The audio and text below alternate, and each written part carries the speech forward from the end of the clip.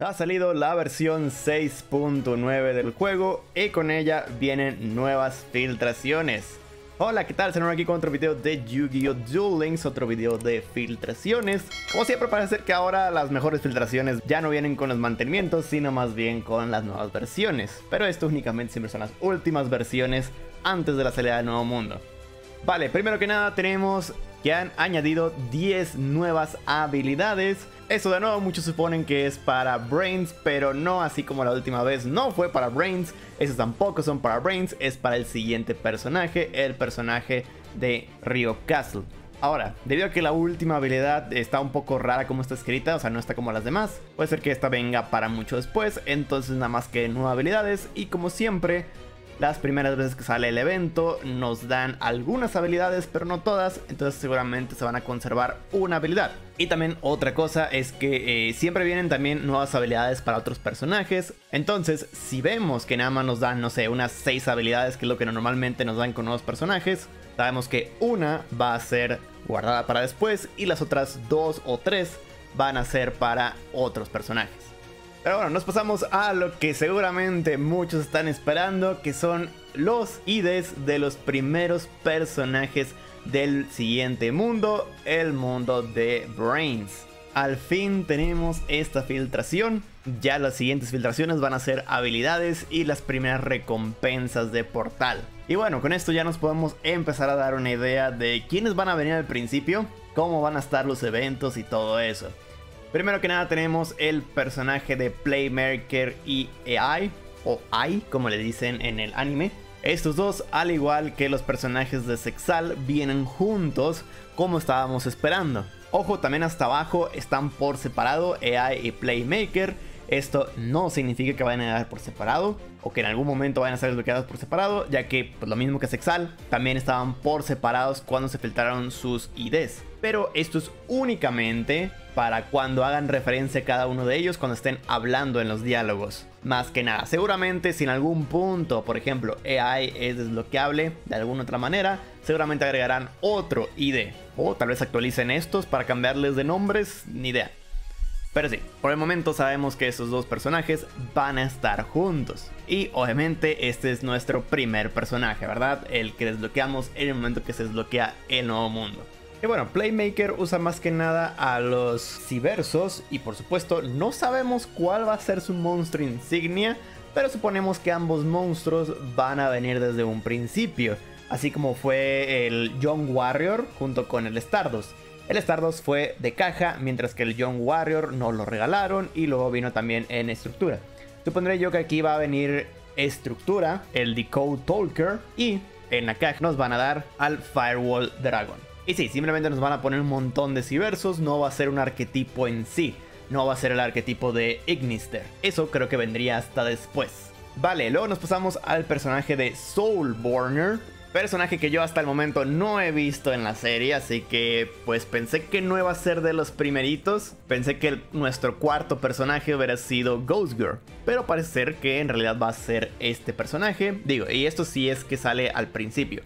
Puede ser que este sea nuestro primer evento también. Pero bueno, sí está pensado para salir desde un principio, entonces sí, o es cuarto personaje o es primer evento. Y este creo que usa los Salamans Greats, así que si Konami quisiera guardarse estos monstruos, eh, lo que podría hacer es, así como Sawatari, darlo como cuarto personaje y en una futura caja dar su arquetipo.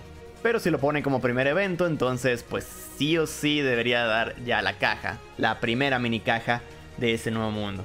Ah, ¿y saben qué? Sí, sí tiene sentido, porque el año pasado, así con los DDs, salió una mini caja, no se hizo tan poderoso, pero luego sacaron una estructura y ahí mejoraron un poco también la habilidad y ya con eso vendieron muy bien.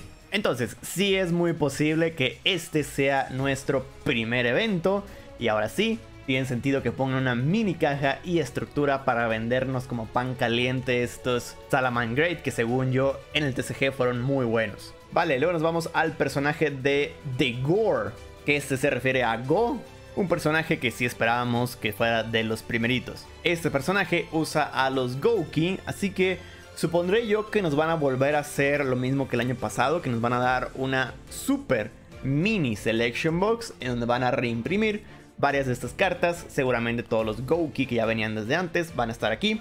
No sé si use algún otro arquetipo, pero bueno, eh, este es el que supongo que sí o sí tiene que venir.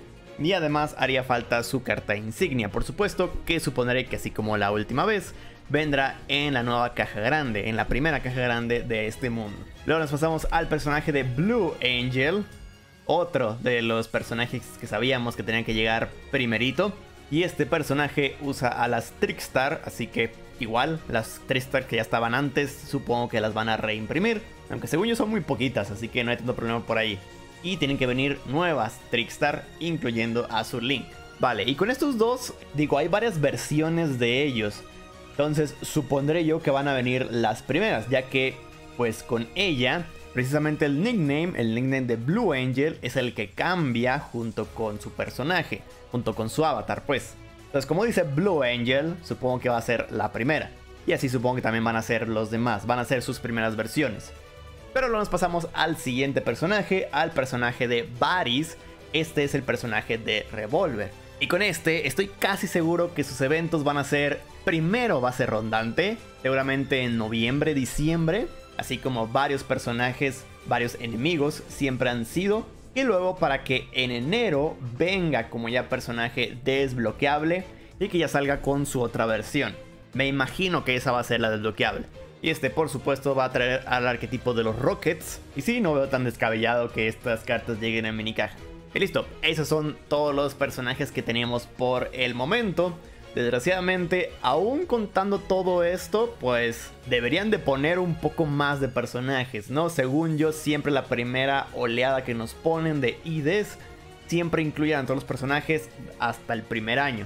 Entonces debería estar haciendo falta uno por lo menos. Pero bueno, vamos a ver qué es lo que hacen. Vamos a ver si este año tenemos varios cambios a la hora del bloqueo de personajes. Pero sí, por el momento parece ser que los iniciales van a ser nada más tres, así como otros años, no el año pasado. Los tres personajes siendo Playmaker con AI, Go o The Gore y también Blue Angel. Nuestro primer evento sería Soulborner y nuestro personaje de enero sería Varys Revolver. Y sí, al final tiene sentido que Soulborner sea el primer personaje, como dijimos, para que vendan un poco de la estructura y Revolver sea personaje de enero, dándole así un poco de espacio, ya que de todas maneras creo que el anime no tiene tantos personajes como para que puedan salir. Pero díganme ustedes qué opinan en los comentarios, díganme también si están emocionados porque ya salga este nuevo mundo. Ya, ahora sí ya más hace falta la confirmación de Konami 100% oficial. Pero sí, ya tenemos prácticamente seguro que va a salir este mundo. Vale, lo estaré leyendo. Muchísimas gracias por haber visto este video. Ya saben que para cualquier cosa de noticias y filtraciones están en el canal correcto. Nos vemos en la próxima. Bye bye.